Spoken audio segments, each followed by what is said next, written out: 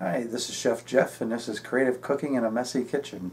Uh, tonight we're going to make um, something I kind of invented, a nice easy dish for that anybody can make at home. I call it pretzel encrusted chicken uh, with uh, steamed potatoes and broccoli and carrots. Um, here's some of the ingredients that you'll need. You'll need some broccoli, and the amounts will vary on the size of your family. Some uh, chicken breast, uh, skinless, boneless. Some potatoes, I like the small ones with the mixed variety. Some uh, petite carrots. A little bit of Parkay or your favorite brand of squeezed butter. Uh, can of cream of chicken soup. Some unsalted pretzels. Important to have unsalted pretzels because um, if you go with salted pretzels, then your end product is may be too salty. Now, if you're the one that likes salt, that might be good, but I suggest go with the unsalted pretzels and then add your own salt and pepper to taste. Some of the equipment that you'll need for this project, uh, but not necessary, but this is what I'm going to use. I have a steamer. Will steam my vegetables and my potatoes. A food processor to crush up your uh, pretzels. If you don't have a steamer, but you have a saucepan and a uh, strainer, you can always put some water in a pan and put this in the pan, put your broccoli and stuff in here, boil it, let the lid cover it with a lid so it steams it. Uh, if you don't have a food processor, you can always take like a Ziploc bag, throw some uh, pretzels in a Ziploc bag, crush it up with your hands or rolling pin, just get it crushed up nice and fine. So in a moment we will begin uh, our next uh, step of the process right after these messages. Outright editing call. Instead of these, they're spreading rapidly. I will die! You don't do this!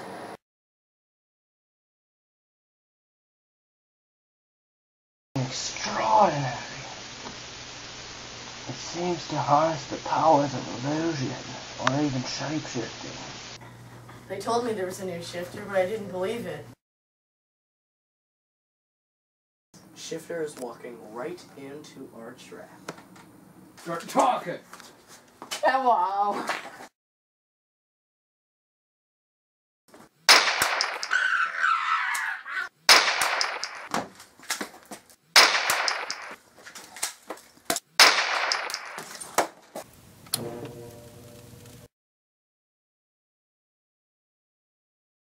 Okay, uh, welcome back. Um, we got Chef Jim with us today. Um, first thing we want to do is you want to preheat your oven to 425. So Chef Jim will show you that's uh, set over there on 425. I got my uh, potatoes in the steamer here started. And as I mentioned, if you don't have a steamer, you have other ways of doing that.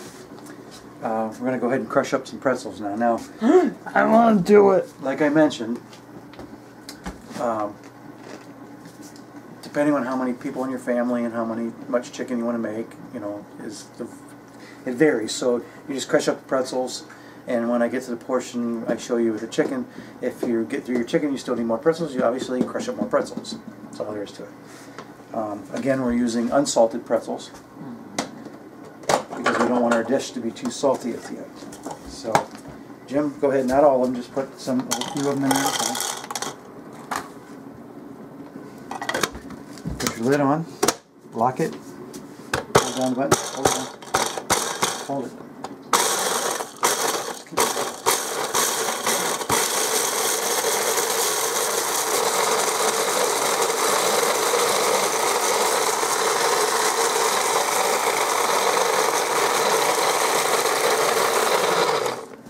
Okay. This way, turn this towards you. Okay. We want to get that a little bit finer. See how that's uh, still pretty good sized chunks?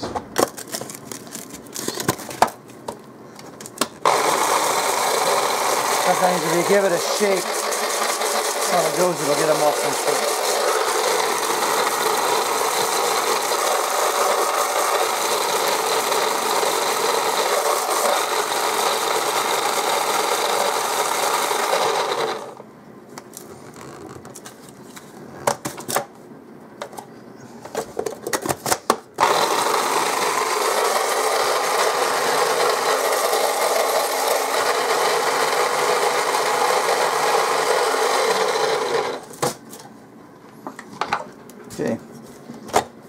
You got your pretzels crushed up. You want to pour them in a container that's big enough to hold a breast of chicken. Obviously this isn't enough. We're going to crush some more up uh, during commercial um, so you don't have to hear all that loud noise. Now remember, if you don't have a food processor, not everybody has one, take a Ziploc bag, and if you hold one second, I'll show you.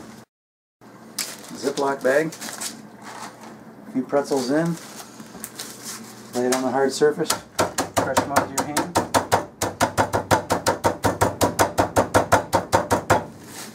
Same exact thing.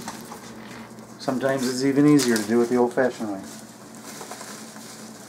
Okay, so potatoes are cooking. They'll take uh, 20 minutes probably to cook. Uh, you got your uh, pretzels crushed up and you got your oven set. Um, right after this break, we'll come back and we'll show you the steps for the chicken.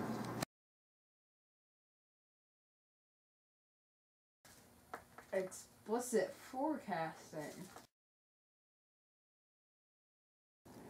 All day if you call within the next two minutes, though. Next two minutes, it's raining out here.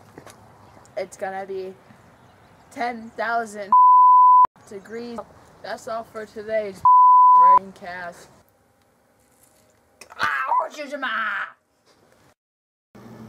Welcome back. Um, we're on to our next step. We're going to start preparing our chicken.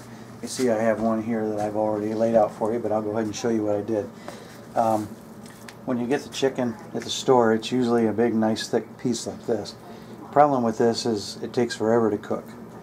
So first thing you want to start with is trim off some of the excess fat. You don't need that. Little connective joint here. You get this right here. If you don't cut that off, that's really, really tough. So you get rid of that. And there's usually, sometimes there's a little fat right there you need to get rid of. And then you want to, what's called butterfly. So you take about halfway through the chicken breast. Slice slowly, don't cut your hand off. And you kind of open it up like this. Keep going, but you don't want to go all the way through. Like this. And now you got a nice, flat, large piece of chicken to cook. And that'll probably be one, uh, one serving. So here's one person, two person, two more breasts, uh, feed a family of four. Um, so we got our potatoes cooking. We got our chicken about ready to go. Uh, come back in uh, about a minute and we'll go to the next step. Does switching to Geico really save you 15% or more on car insurance? Is having a snowball fight with your dad's car a bad idea? Oh, I hit this car. Oh, I did not just do that. Uh.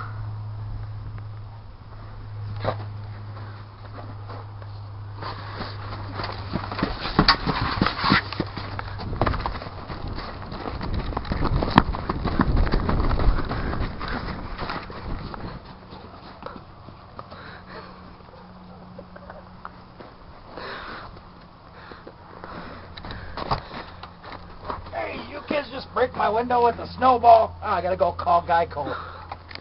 Geico. Bye, car insurance. Welcome back.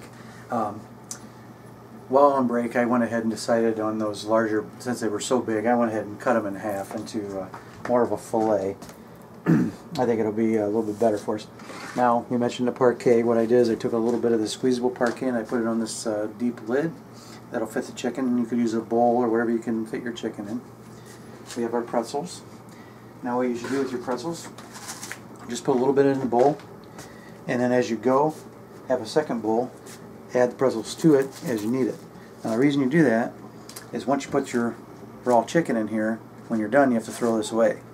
So if you don't use all your pretzels, you can put a lid on this and save it for the next time. And this recipe works well with uh, tilapia um, or, or cod, other fish, um, as well as uh, the chicken. So it's good for different dishes. So what we do here, first want to take your chicken tender. You always want to season. Anytime you use protein, you want to make sure you season your protein. Uh, steak, chicken, anything got. So a little salt and pepper on there. A little bit of butter. Into your crumbs. Don't do that. Save that for the blooper reel. Okay, and onto your sheet tray. And your sheet tray should be sprayed down with uh, some sort of shortening like uh, Pam, or if you have lard or something you can smear down with, make sure it's grease so it don't stick. Now, I want to answer at this time a viewer email. Uh, Crazy Chef 16 emailed us and asked, "What temperature should you cook, cook chicken at, Chef Jeff?" Well, Crazy Chef 16, uh, good question. Um, chicken should always be cooked at at least 165 degrees. Doesn't mean you can't cook it longer than that, but the longer you cook it, the drier the chicken is going to be. But you want at least 165 degrees. Um, chicken can cause salmonella poisoning, so you want to make sure you cook. Now, along with that, sometimes you might not think about when you're all done with your prep, anything that's chicken touched, the cutting board, your knife, whatever, you want to make sure you clean it well with soap and water. If you have some bleach when you're done, wipe it down with bleach. If you have a, a sanitizer, you can wipe down with sanitizer. And if you have a dishwasher, make sure it goes through the dishwasher. You want to kill any possible bacteria that could cause salmonella poisoning. Um, you know, say tomorrow, use that same cutting board knife to cut green peppers, and you forgot to wipe it down, you could make the whole family sick. So, um, thanks Crazy Chef 16 for the question. And uh, right after this uh, message, we will um, take a look at how our chicken turned out.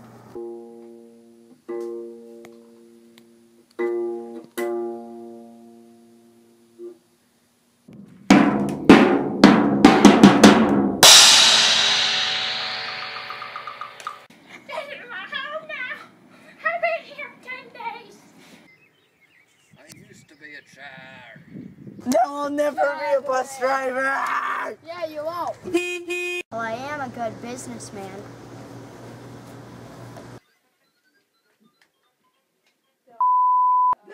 I'm a macho, macho man.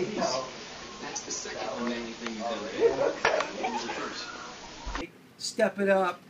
Change your grease once in a while. Put some idiots in the kitchen that know how to cook and cook some decent fries.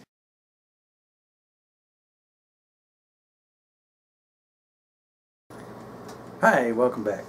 Uh, got our chicken all ready to go in the oven here. And take a look.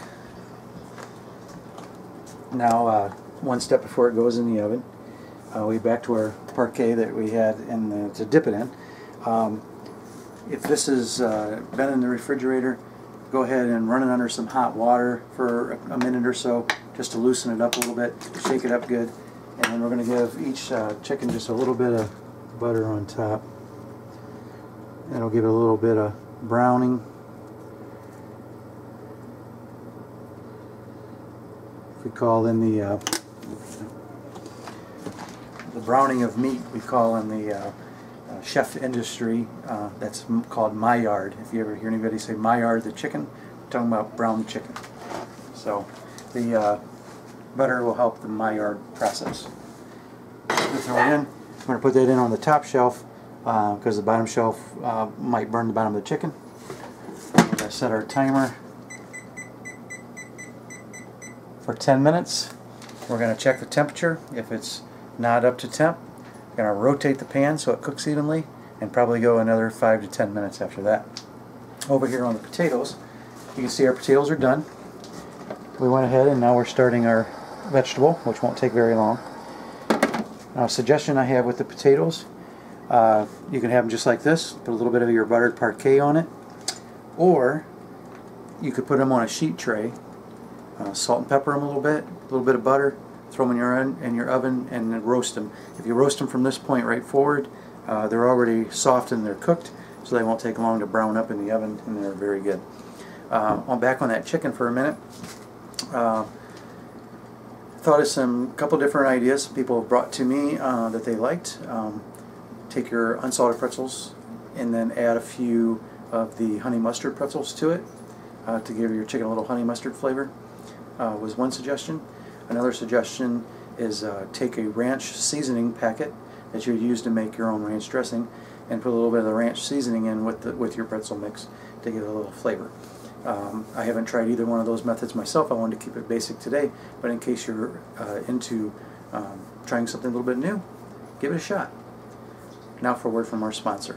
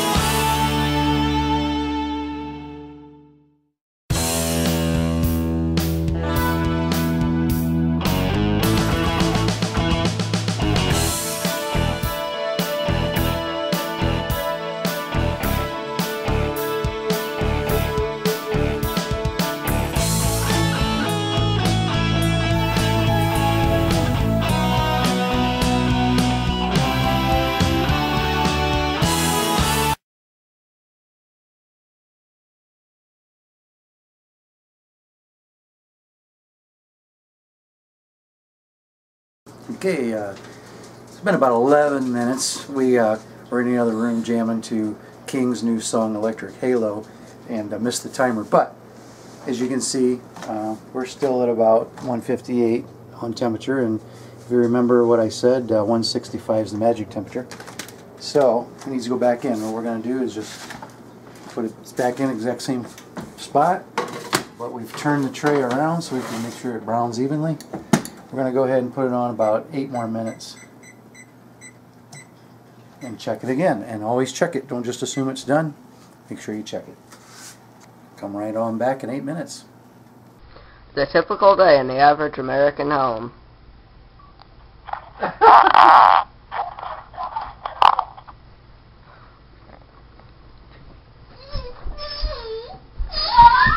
Hey kid, why don't you try the new Fart Breeze?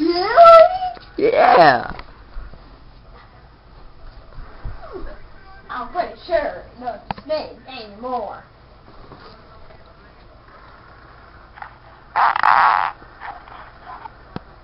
See, it makes farts into flowers.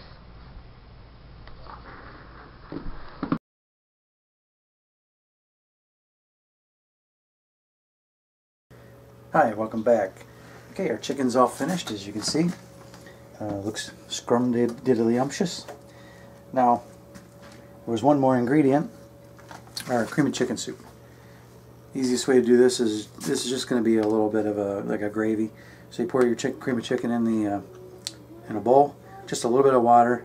Uh, the rest of the can will say, uh, you know, a whole can, uh, because they're making it a soup, but this is just going to be kind of a gravy, so we're just going to make a little thickness to it. Microwave it for a couple minutes to get it hot. And then what we're going to do is we're going to come over here and we're going to plate our food. So take some of your uh, cream of chicken soup. Just a little bit on the bottom there.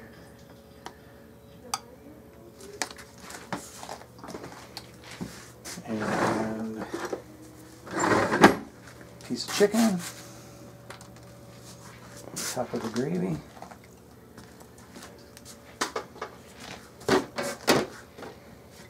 Some vegetables on there.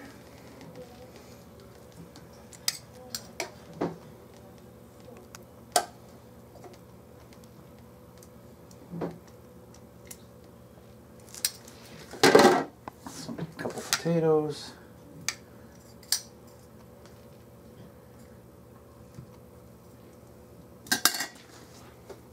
Take your Parkay, a little butter, top of your potatoes and your vegetable. And there you go. Uh, very healthy meal, cheap, and anybody can make it at home. So let's give it a taste. See how it turned out. Piece of chicken, a little gravy on there. Mmm. Gonna do the Robert Irvine dance. Yeah, that's good stuff. Thanks for watching Chef Jeff's and Chef Chef Jim's Creative Cooking in a Messy Kitchen. Until next time, eat well.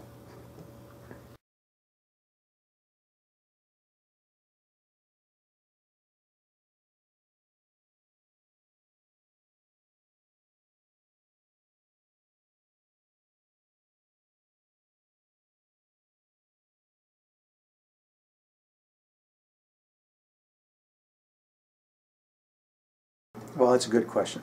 The chicken is very important. Um, you should always cook your chicken at least 160. That's not, I was. You stop laughing.